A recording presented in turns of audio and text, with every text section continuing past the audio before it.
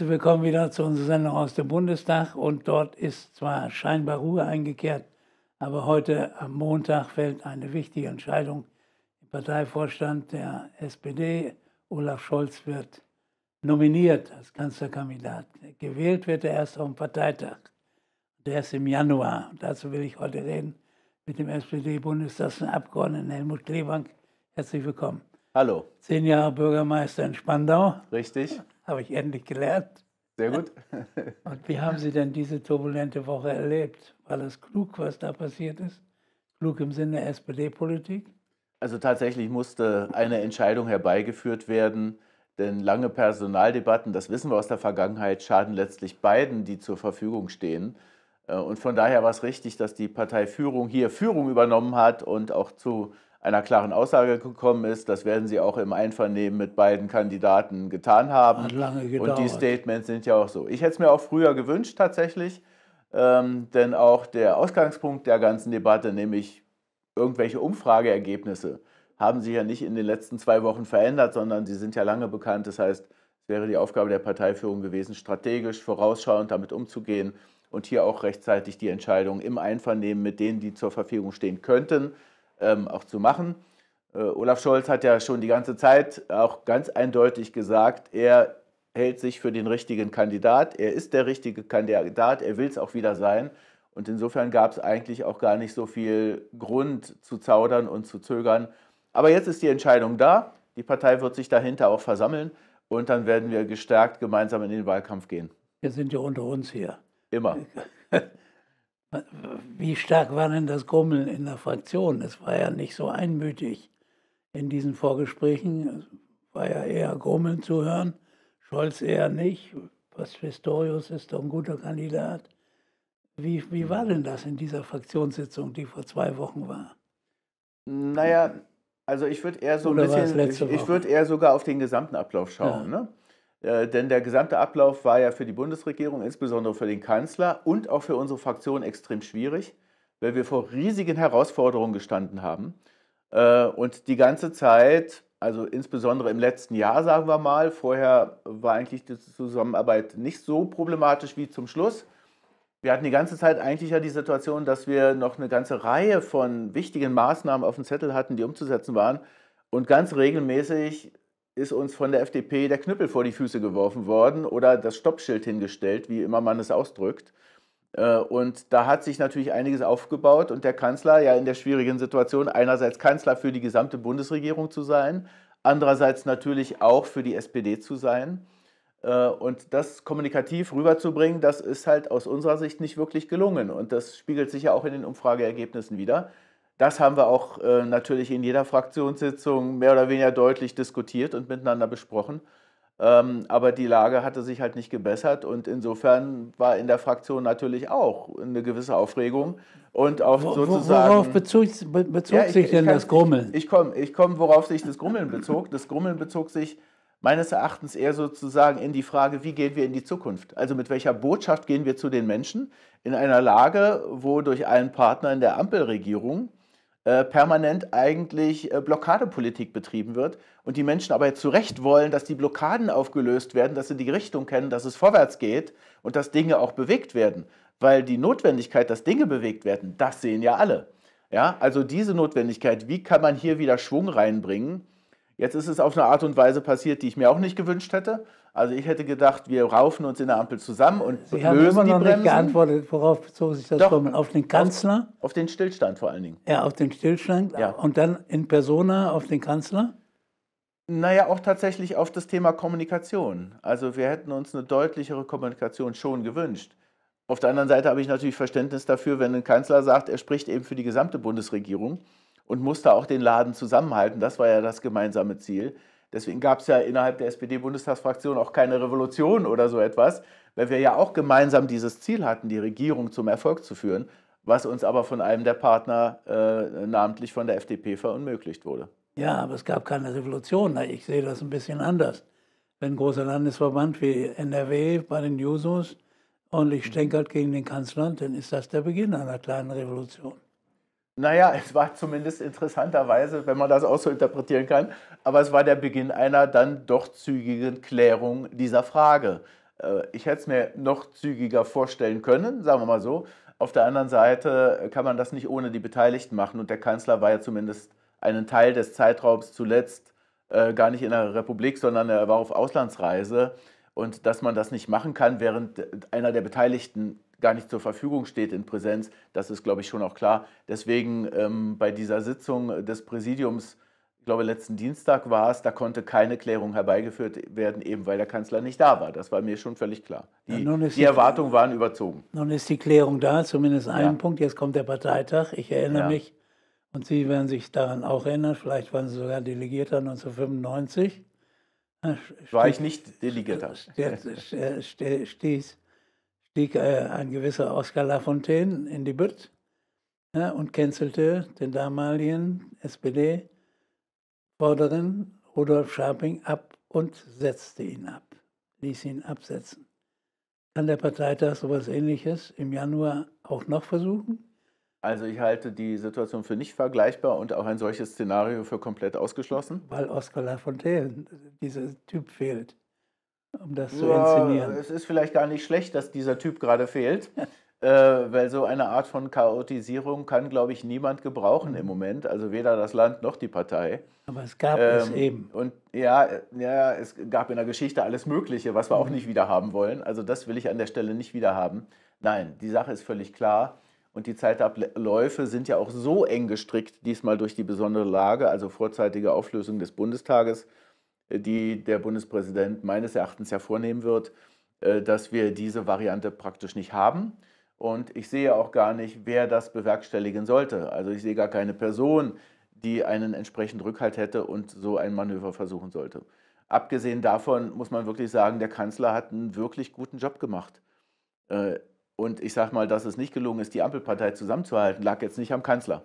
Das kann man ihm, glaube ich, nicht vorwerfen. Das wird ja auch manchmal so geframed, der Kanzler hätte da versagt.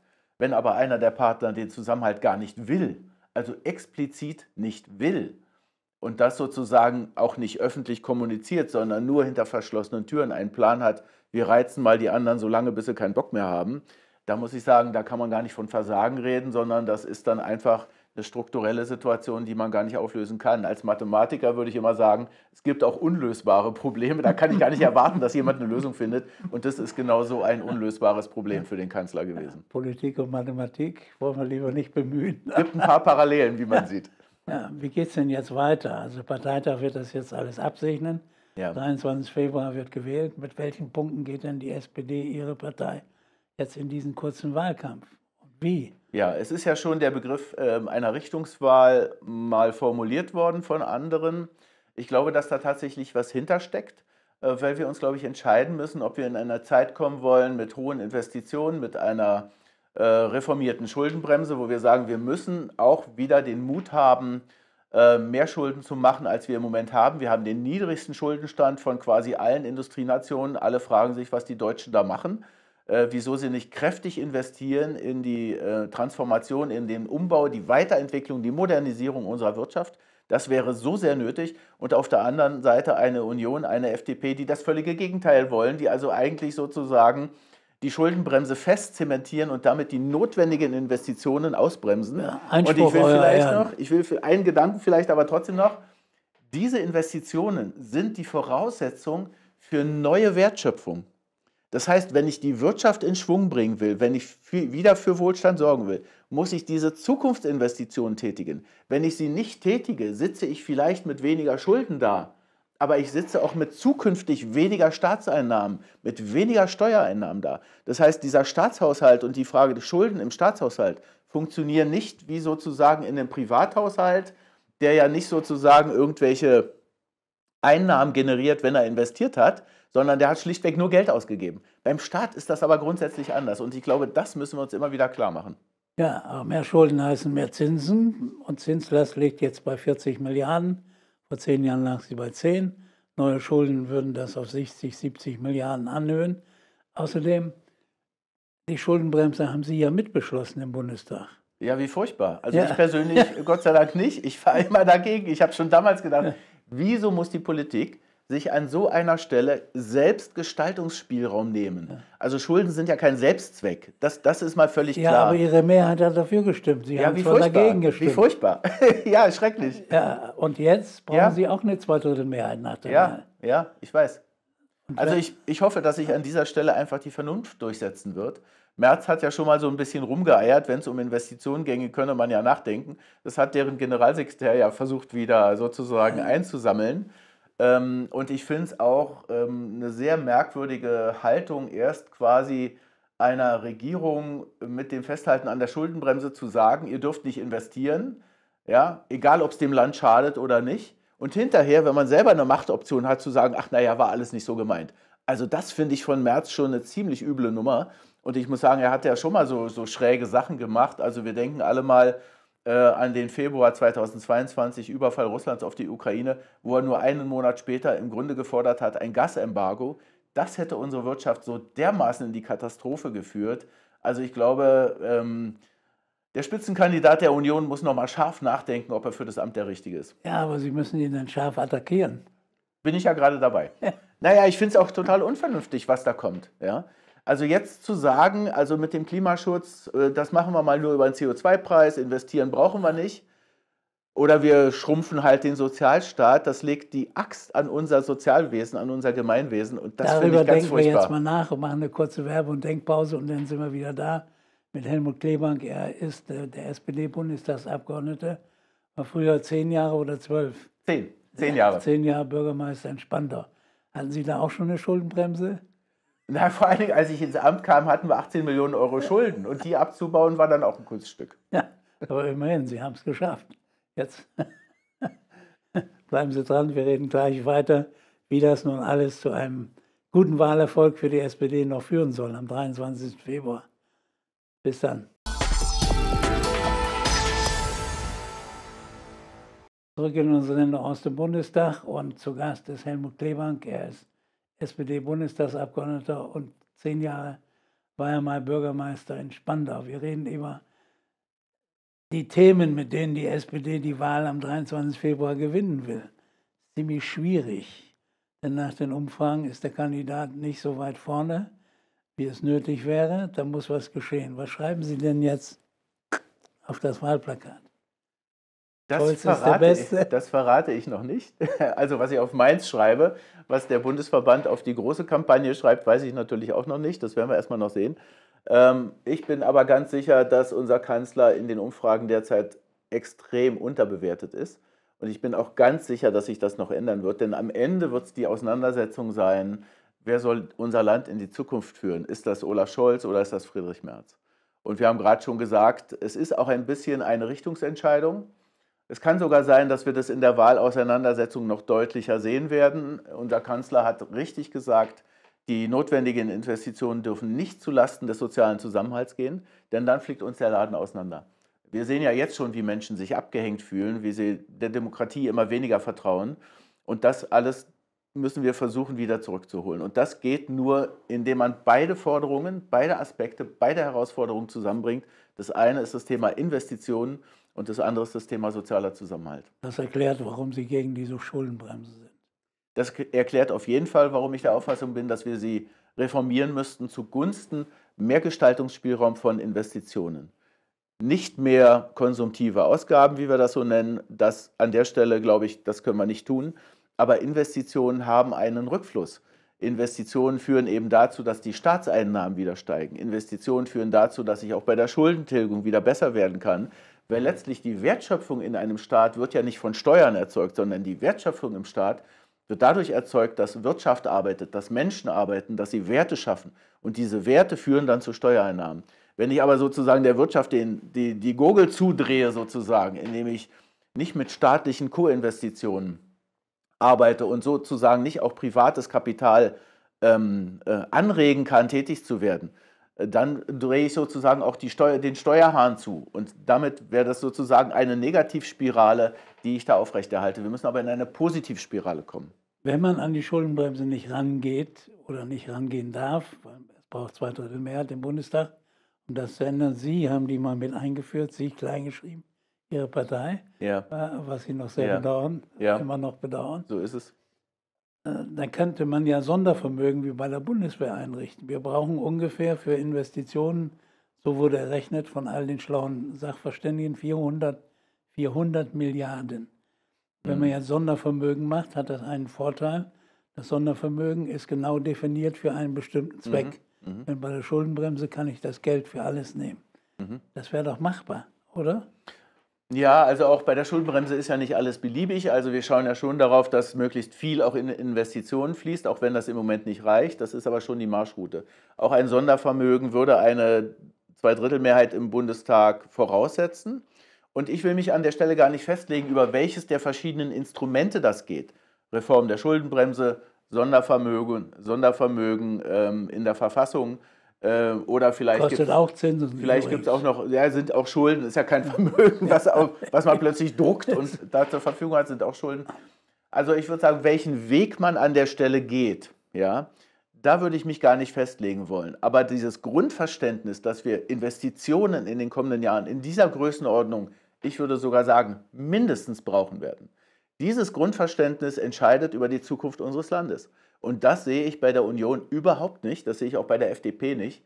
Äh, das sehe ich aber inzwischen ganz klar äh, bei der SPD. Das sehe ich ganz klar bei unserem Kanzler. Das hat sich durchgesetzt. Das ist auch vernünftig, weil es eben Arbeit schafft, weil es Wohlstand schafft, weil es uns ermöglicht, die Transformation durchzuführen, weil es am Ende zu mehr Steuereinnahmen führt und damit auch die Möglichkeit, unser Land sozial gerecht weiterzuentwickeln.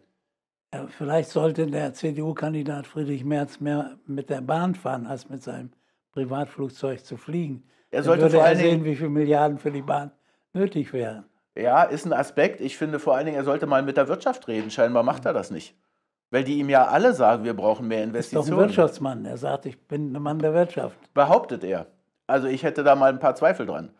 Weil er, äh, re, äh, ich sag mal, er reproduziert ja nur die Rezepte der Vergangenheit. Er hat aber keine Rezepte für die Zukunft. Und die Zukunft heißt, wir müssen wirtschaftliches Wachstum und Bekämpfung des Klimawandels unter einen Hut bringen. Und dass das geht, das haben wir in der Ampelregierung allerdings in den ersten zwei Jahren bewiesen, indem wir uns von russischem Öl und Gas unabhängig gemacht haben, indem wir die erneuerbaren Energien massiv vorangebracht haben und indem wir alle Voraussetzungen für ein neues Energiesystem mit Wasserstoff, mit mehr Vernetzung und so weiter auf den Weg gebracht haben. Also wir wissen, es geht. Man muss es nur machen. Man muss investieren und man muss die Wirtschaft mitnehmen. Aber es scheint nicht so durchgeschlagen zu sein bei der Bevölkerung. Kann ich Ihnen auch erklären. Das ist eigentlich auch total verständlich. Die Bevölkerung ist verunsichert, weil sie genau spürt, dass es um diese beiden Richtungen geht. Also geht es in eine klimaneutrale Zukunft mit technologischem Fortschritt, mit Innovation, mit Zukunftsinvestitionen. Auf deren Weg wir schon sind. Auf diesem Weg sind wir bereits. Oder geht es zurück in eine Vergangenheit, die es so nie gab? Ja, diese, diese Wahl haben wir. Und dann halten sich die Leute natürlich zurück bei der Frage, kaufe ich mir ein E-Auto oder kaufe ich mir einen Verbrenner?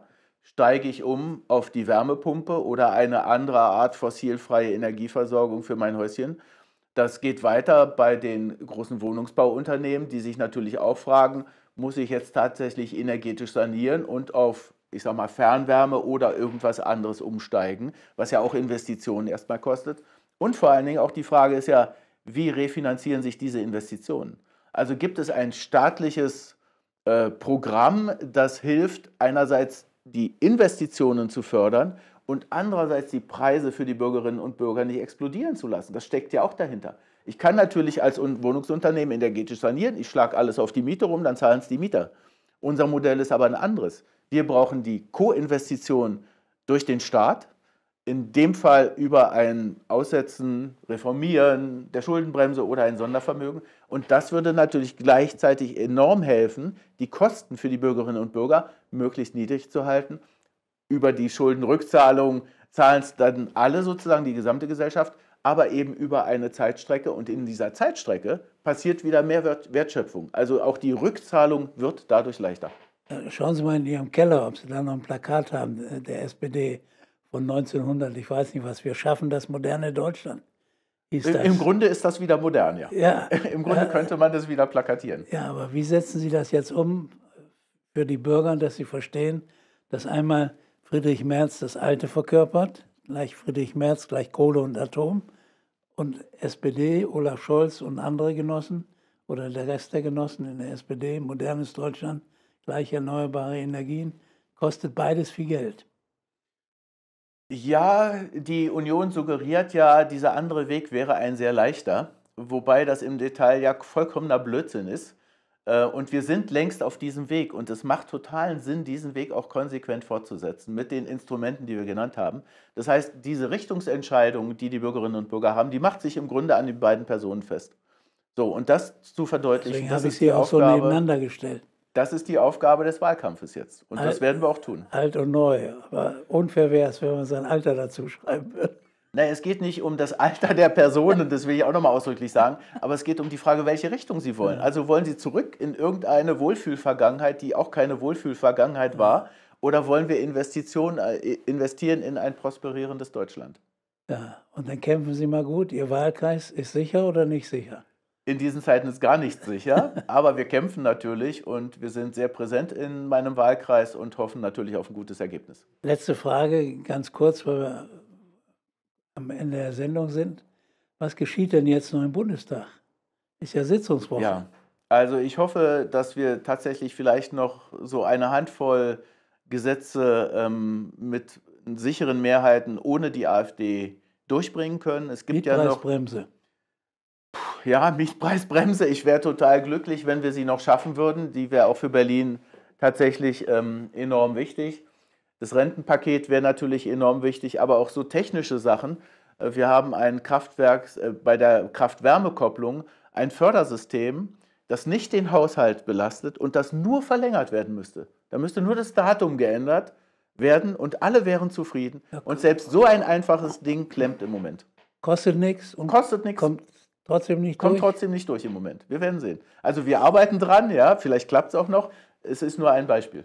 Was heißt Mietpreisbremse? Sie hoffen, dass es durchkommt. Was bedeutet, wenn das nicht verlängert wird? Naja, wenn die Mietpreisbremse ausläuft, dann gilt sie schlichtweg nicht mehr. Auch für Berlin nicht, auch für die Mieterinnen und Mieter nicht. Und es ist jetzt eigentlich schon fast zu spät. Die FDP hat es die ganze Zeit ausgebremst, muss man einfach sagen. Und selbst die Variante, die jetzt auf dem Tisch liegt, hat noch zur Folge, dass äh, in Berlin also wirklich gebietescharf nachgewiesen werden müsste, dass es eine angespannte Wohnlage ist. Ich denke, die Landesregierung bekäme das auch hin. Äh, aber im Grunde wissen wir ja alle, ganz Berlin hat eine angespannte Wohnlage. Die Leute suchen eine Wohnung und finden schlichtweg keine. Oder wenn, dann zu horrenden Preisen. Ist das den Berlinern eigentlich bewusst, dass wenn die, die das jetzt nicht durch den Bundestag kommt, mhm. dass denn Tür und Angel weit geöffnet sind für mhm. Mieterhöhungen? Also ich habe ein Verständnis dafür, dass die Menschen bei den vielen Nachrichten und bei den vielen verstörenden Nachrichten, die auf sie einströmen, dass sie das möglicherweise nicht so richtig mitbekommen haben. Ja, aber die Wahrheit wäre ja nicht schlecht in diesem Punkt. Wir benennen sie ja auch. Ja, also wir sehen uns bestimmt noch einmal. Ja, Sehr gerne. Sie, bevor die Wahl startet, 23. Februar ist noch lange hin. Ja. Ich freue mich, bedanke mich, dass Sie heute hier waren. Helmut Klebank, SPD-Bundestagsabgeordneter und war zehn Jahre Bürgermeister in Spandau. Danke für heute. Ja? Sehr gerne. Bringen Sie noch alle nötigen Gesetze durch. Dankeschön. Wir arbeiten dran und, und hoffen natürlich Wahlkampf das Beste. Wird hart. So ist es. Und ich bedanke mich bei Ihnen, dass Sie zugeschaut haben. Wir sehen uns wieder jeden Montag 2015 aus dem Bundestag, auch in der Wahlkampfzeit und dann gerade erst recht dahin, danke und tschüss.